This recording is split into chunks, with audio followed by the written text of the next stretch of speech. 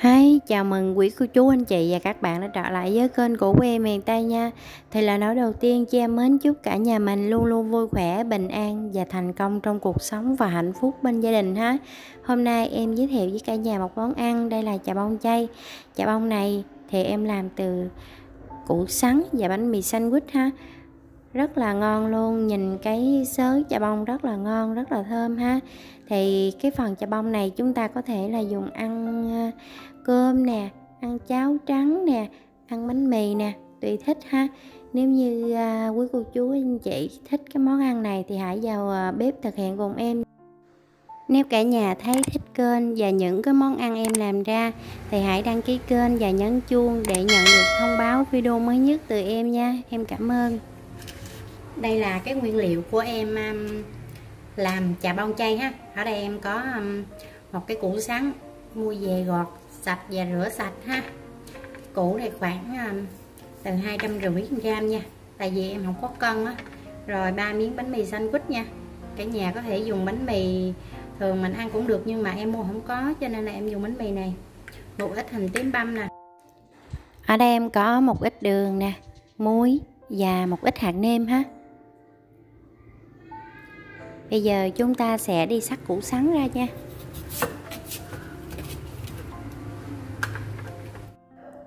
Rồi cái phần này thì em sẽ sắc mỏng thiệt là mỏng ha. Và chúng ta sắc lại thành sợi um, nhỏ nhỏ thôi cho cái sợi chà bông của mình nó mềm nó ngon hơn ha.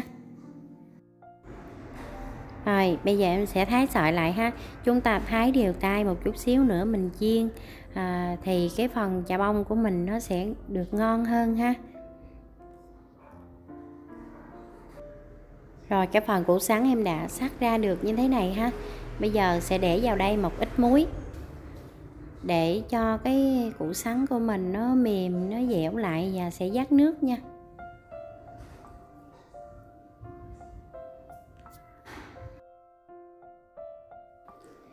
Bây giờ em sẽ trộn cái phần củ sắn này lên. Củ sắn à, để muối vào thì nó xẹp xuống bớt ha. Chúng ta trộn đều. Và sau đó thì dắt nước ra ha. Dắt bỏ bớt cái phần nước này, dắt thật là mạnh tay, dắt cho khô luôn đó. Là cho nó bỏ đi à, cái nước củ sắn nè. Rồi cho cái cái sợi mà chà bông của mình đó, nó được ngon hơn ha. Bây giờ thì nó rất là dẻo, nó rất là mềm luôn rồi đó rồi em đã bắt đầu dắt rồi hả cả nhà. Dắt mạnh tay nha. Cho loại bỏ cái phần nước củ sắn ra và cái à, phần muối của mình á. Để à, nếu như còn nước nó sẽ bị à, có cái vị mặn á, nó sẽ không có ngon cái phần chả bông của mình ha. Rồi cái phần củ sắn của em đã dắt khô được một ít như thế này nè rồi bây giờ em sẽ chuẩn bị chiên thôi nha.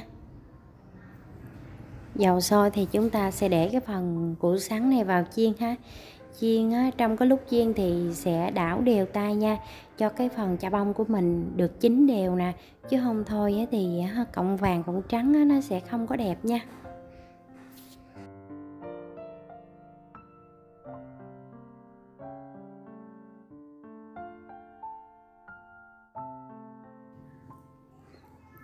Rồi em đã chiên một cái phân nửa rồi nè ha. Đó, cả nhà thấy ngon không nè? Y như là chà bông thiệt vậy đó.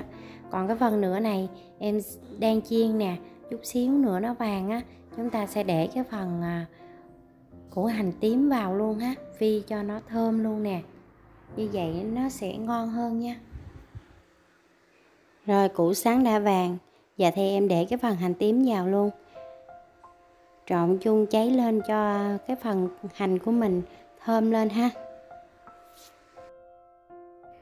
Trong lúc chiên thì chúng ta sẽ đảo đều ha, cho cái phần củ sắn mình nó chín đều để nó được ngon hơn nha.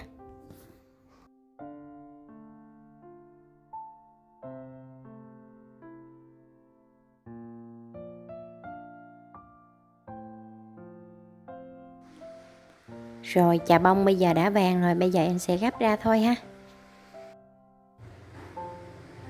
Đây là phần chà bông của em vừa chiên xong. Bây giờ thì bông ra giống như là chà bông thật vậy đó. Bây giờ em sẽ để đây cho nguội há và chúng ta đi nướng bánh mì thôi.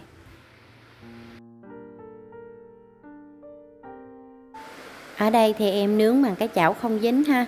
Rồi à, bắt chảo nóng lên và chúng ta để bánh mì vào nướng nếu như cả nhà có bánh mì um, ổ của mình á mình hay ăn bánh mì thịt bánh mì gì chả đâu đó thì nó ngon hơn ha. Rồi bánh mì của em cũng vàng được một mặt rồi nè. Bắt đầu nước tiếp tục ha nướng đến khi nó vàng thì chúng ta sẽ à, xé ra nó sẽ ngon hơn ha. Thơm lắm cả nhà. Cái lúc nướng bánh mì này là nó sơ thơm mà cực kỳ luôn á. Đó. đó đã vàng rồi đó rồi, cái phần trà bông này em sẽ cho hết vào cái chảo ha. Cái chảo này mình chưa có bật lửa lên nha. Bây giờ bắt đầu xé bánh mì để vào nha. Bánh mì lúc nãy em nướng nè, chúng ta sẽ xé nhỏ nhỏ nhỏ để bỏ vào ha. Như vậy thì cái phần chà bông của mình nó đẹp mắt, nó lại ngon nữa đó.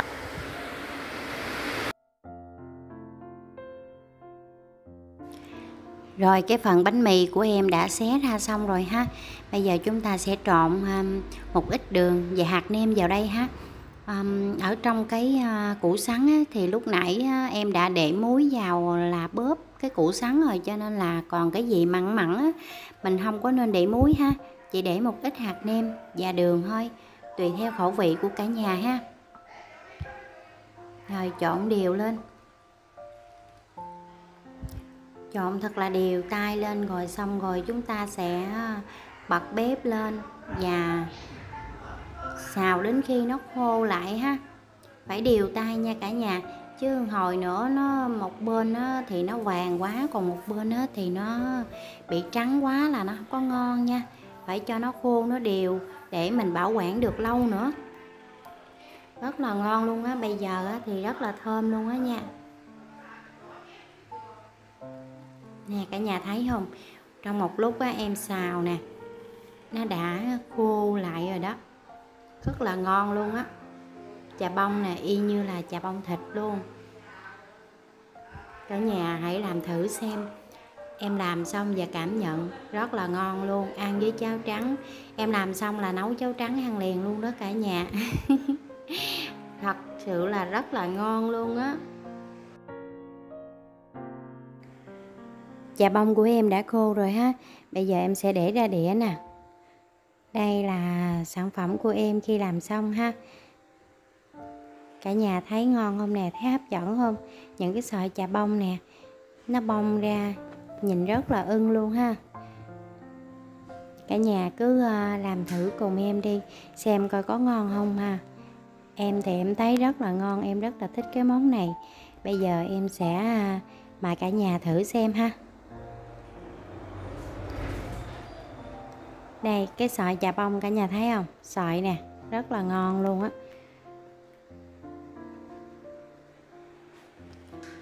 Cảm nhận của em á, là vừa ăn rất ngon luôn. Cái à, chà bông của mình sẽ bảo quản ở trong keo lọ để trong vòng một tháng được nha. Tại vì em làm nó khô á mình để ăn được một tháng luôn đó. Rồi em à, cảm ơn cả nhà rất là nhiều ha đã luôn ủng hộ em nha. À, nếu thấy thích cái video này hãy cho em một like và đăng ký kênh ủng hộ em có động lực làm nhiều video tiếp theo hay hơn nữa nha. Còn bây giờ thì xin chào và hẹn gặp lại cả nhà vào video sau nha. Bye bye.